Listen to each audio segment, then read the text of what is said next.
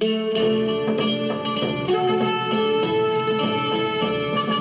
listen and I'll tell you how first I went to sea to fight against the British and win our liberty. We shipped with Captain Whipple, who never knew a fear. The captain of the Providence, the Yankee privateer.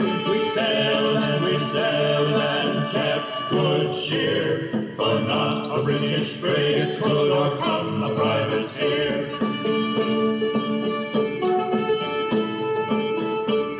We sailed to the southern and suddenly did meet three British frigates convoy to a West Indian fleet. Old Whipple put our lights out and crawled upon their rear, and not a soul suspected the Yankee privateer. We sailed and we sailed and kept good cheer, for not a British frigate could o'ercome the privateer.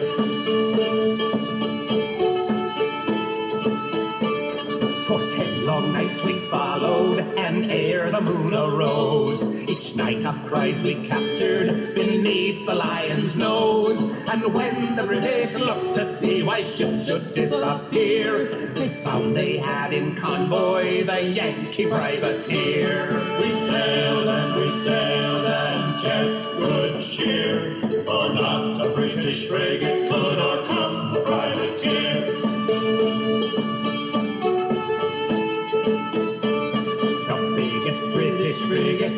round to give us chase. Though we were the fleeter, old Whipple didn't race until he'd raked her fore and aft. The lubbers couldn't steer, and then he showed the foe the heels of the Yankee privateer. We sailed and we sailed and kept good cheer, for not a British frigate could o'ercome.